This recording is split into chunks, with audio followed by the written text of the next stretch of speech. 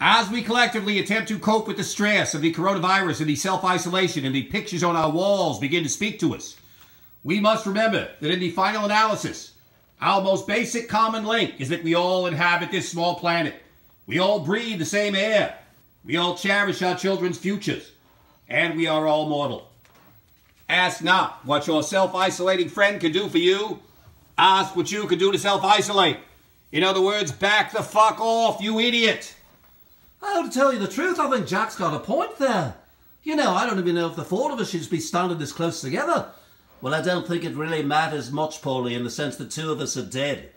Oh, that's easy for you to say after Yoko started the whole coronavirus thing in the first place.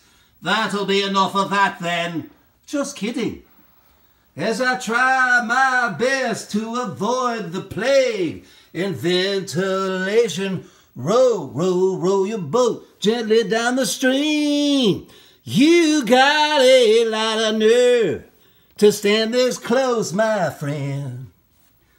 Back up right now, you self-isolating ass clown.